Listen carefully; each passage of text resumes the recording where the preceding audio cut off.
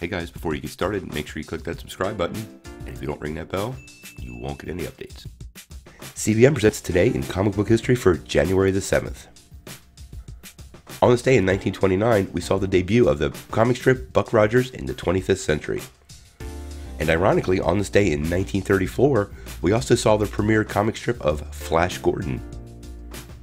On this day in 1942, the Weeper, nemesis of Bullet Man and Bullet Girl, first appeared in Master Comics number 23.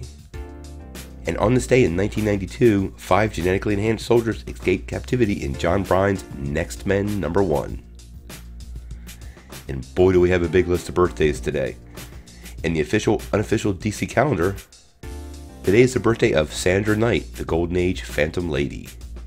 Born on this day in 1953, artist and Bob Wiacek also born on this day, inker and writer Karl Kesel, best known for establishing the Thing as a Jewish character. Born on this day in 1964, Ghost Rider himself, Nicolas Cage. And also from the Marvel world, born on this day in 1971, actor Jeremy Renner, the one and only Hawkeye.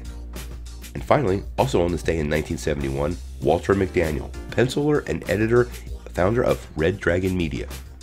That's all we have for today. If you like this video, make sure you press like below, click subscribe, and if you don't ring that bell, you won't get any updates. See you tomorrow.